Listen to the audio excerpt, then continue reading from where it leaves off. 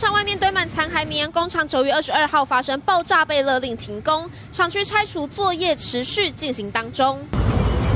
建筑外面还有明显焦黑痕迹。这起爆炸案导致四名消防员殉职，六名员工死亡，一百一十三人受伤，其中有十一人还在住院，部分伤患也因此罹患创伤后压力症候群。对于发生这件事情，我确实是非常的难过，也感到非常的抱歉。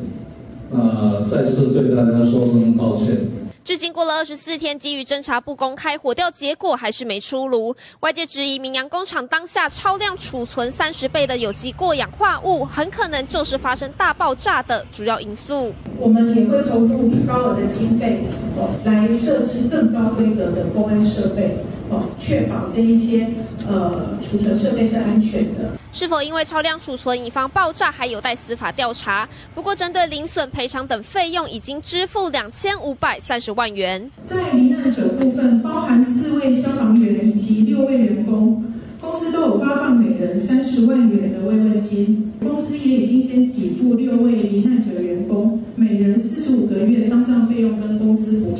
承诺会按月支付员工薪资，直到十二月三十一日，同时也启动员工去留调查，强调会尊重意愿，协助转介。金新闻公平。